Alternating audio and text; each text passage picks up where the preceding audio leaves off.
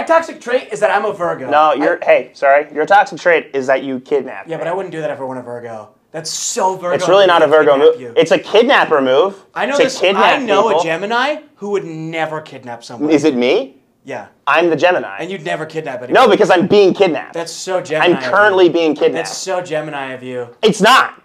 I'm a Virgo, so you better watch out. It might hurt you if you keep That's not talking. what you're- if you, you- keep raising your voice, Okay, it'd sorry. be very Virgo of me Sorry. to hurt you. Right. Sorry.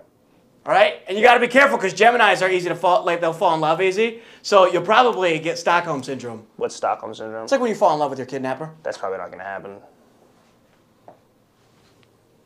What are you trying to? What are you posing? What is this? What are you trying to get me to? I'm not going to fall in love with you. I might fall in love with you if you unchain me. That wouldn't be very Virgo of me.